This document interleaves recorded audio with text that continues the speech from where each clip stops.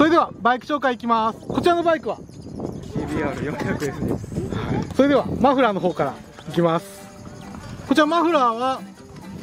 紀ノ国屋の。紀ノ国屋です。紀ノ国屋ですねサイレンサーも紀ノ国屋で。はい。でエンジンカバーもねしっかりついてて。はい。かっこいいですね。でキャブはこれノーマル。はいプラグコード書いてあって。はい。でフロントはこちらダブルで。はい。でヘッドライトは純正。いや車外の。あこれ車外なんですね。これ何のやつなんですか？わかりましたでウインカーがヨーロピ。はいはい。でハンドルいきますじゃあ。VF タイプ。VF タイプ。でメーターですね。この上ってこれは何ですか？レブコン。あレブコンなんですね。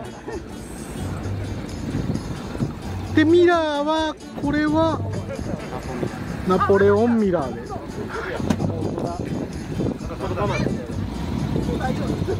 綺麗ですね。ピカピカですね。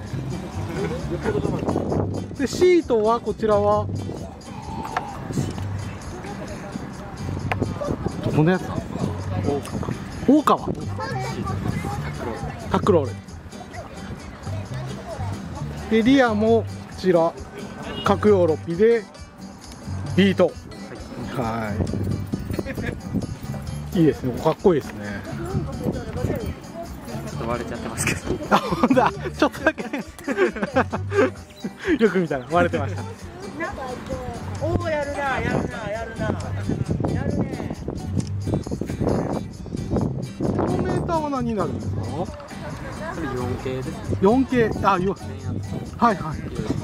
バッテリーとかの電圧もはい。出てくるっていう感じですね、フニカラージャストビートのあ。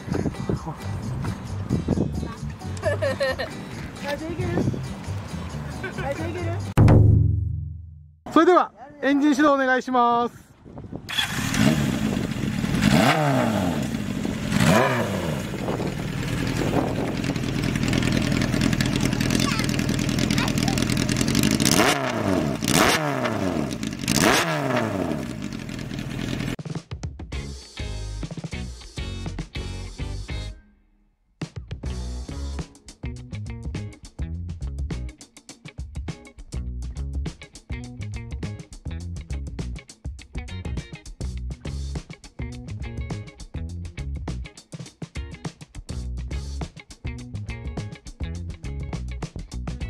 次回も見てね。